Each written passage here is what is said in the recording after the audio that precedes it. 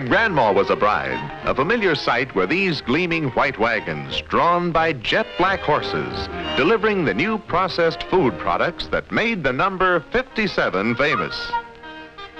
Fascinating is the story of these famed draft horses, for which buyers scoured the country. Noted for their appearance, breeding, and care, they were quartered in probably the world's first air-conditioned stables, on floors of cork and asphalt, with daily rub-downs by electric grooming devices. Some people call this a lot of falderall. But even then, Mr. H.J. himself felt that distribution should rank right along with manufacturing and should be of an equally high standard. It just happened that his standards were unusually high.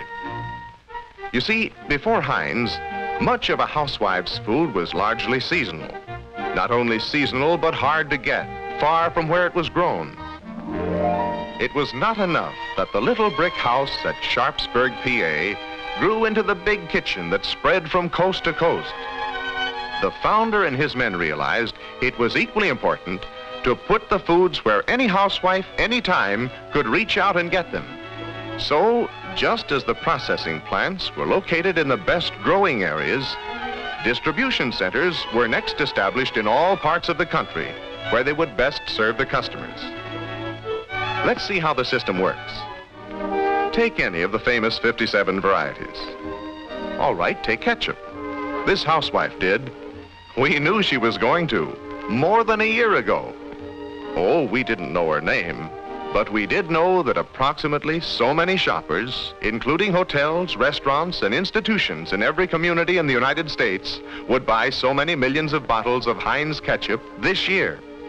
This survey was made by the Business Research Department. They told planning and distribution, who in turn told manufacturing how much was needed. Manufacturing figured out how many of those special pedigree tomatoes to plant through their contract farmers all summer. Factory men kept check on the growing crop to make sure the quality and quantity would be right. Comes the harvest, and they know they will have the right amount to fill the demand. Of course, these ripe, luscious beauties, fairly bursting with vitamins, will go into other things besides ketchup. Appetizing juice, nourishing soups, and delicious sauce to combine with spaghetti, baked beans, and other products, including strained baby foods. But let's stick to ketchup as our typical example. The big pack in this line begins in mid or late summer. The New Year's sales start simultaneously. That means the last of the previous pack must be just leaving the grocer shelves. That's a ruling principle of this amazing system, a continuous flow of as many products as possible from the processing plant to the warehouses, to the grocer shelves, to Mrs. Housewife's kitchen. Something like this. Take one small section of the map. The produce comes into the plant, is processed, and moves out to the proper warehouses. From the warehouse to the food stores in its territory, or to hotels and restaurants. And from the stores to the surrounding homes. Repeat that in all parts of the country with 57 different varieties and the varieties within varieties adding up to at least twice that number.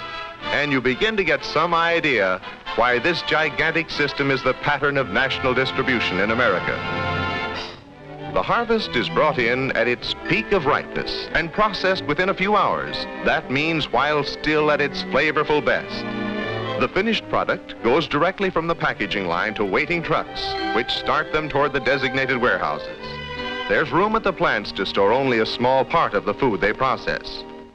Here is a typical branch warehouse, one of some 70 spotted around the country. Among them are these at New York, Milwaukee, St. Paul, Chicago, Oakland, California, Jacksonville, Florida, Dallas, and Los Angeles, to picture only a few. Goods from the various processing plants arrive by truck, by rail, and at this, as well as many of the others, by ship. And here comes a load of our ketchup we saw leaving the bottling line such a short time ago. Though completely modern and commodious, you can see that here again there is room only for goods in transit. Not more than a few weeks' supply can be kept on hand of most kinds. Even at that, it takes a lot of floor space to house so many popular items. Here we see stacks of oven-baked beans put up to your choice, next to stack after stack of all kinds of soups. 21 ingredients in vegetable soup alone. They come from many different states and even a foreign country. And nearby, the larger size packages of the same taste-tempting varieties that go to hotels, restaurants, and institutions. Here are all sorts of pickles, sweet, mixed, gherkins, and fresh cucumber pickle. Sparkling vinegars, white, cider, malt, and tarragon. Wonderful spaghetti and macaroni. Full-flavored jellies of choicest fruits, apple, grape, berry, quince, and others. Those popular baby foods, strained fruits, vegetables, meat products, even desserts as well as junior foods in the same wide and tempting selection. All through the day, the cases come in to be loaded for delivery to the stores. In some of the larger warehouses, the local delivery trucks are loaded at night so that they can be on their way first thing in the morning when the stores open. These are the glistening white motor trucks that replaced the gleaming white delivery wagons of days gone by. But they too are kept spick and span, as clean and wholesome as the food they transport. So the trucks deliver the goods to the stores in their territory. The last stop before the consumer's kitchens. To make it easy for Mrs. Housewife to reach out and pick any of these cans, jars, or bottles of nourishing, mouth-watering foods, a specially trained company representative is also on hand regularly to assist his friend the grocer as well as the restaurant operator with his inventory and display. But his main job is to keep that stock rotating, to see to it that the amounts delivered are in perfect timing, to maintain that unbroken flow from the big kitchen to Milady's kitchen. It does look appetizing, doesn't it? This one of the 57 we took for our example.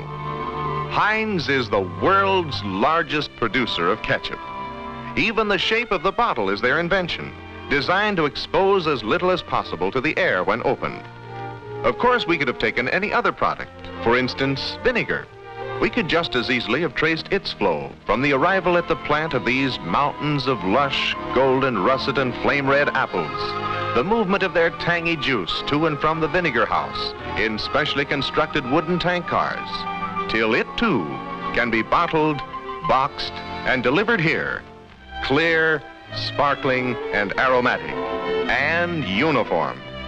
Whether you're a housewife in Portland, Oregon, or a bulk user in Miami, Florida, you know that every bottle, every gallon, every cask you buy is always the same. Or we might have taken pickles, one of the most eaten canned vegetables in America, and so on through all the 57. Why have we shown you all this? Because we hope the next time you see any of these products of which we are so proud, that they will rouse in you a mental picture or two. Well, three if that's all right with you.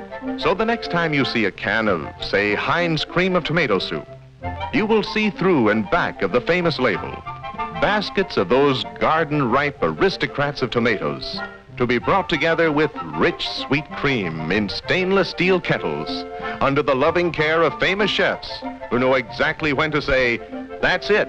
That is one of the pictures we'd like you to see when you pick up this can. Another is the great network of the National Distribution System that maintains for you that flow of freshness for which these foods are famous.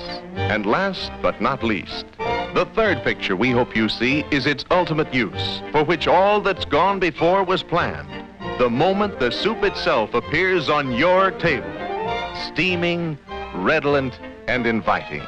Or in a can of these oven-baked beans, we want you to see sun-swept vistas of these and other vegetables ripening in the country's richest soil, as well as the vision of their crowning appearance on your table all honey brown, succulent, and tempting. Or among the baby foods, strained vegetables, soups, and fruits. An enticing, nutritious serving like this. And isn't that a dainty dish to set before the king of your household? Or the next time you drop in at your favorite lunchroom for a snack, you know what the sight of that familiar miniature soup kitchen will call to your mind. Whether it be soup or beans or spaghetti, you will see not only the satisfying quick energy food, but behind it, the big kitchen that prepared it at its peak of perfection. And equally important, the big delivery wagon that rushed it to you at its peak of freshness. Two big reasons why we in America are the best fed people on earth.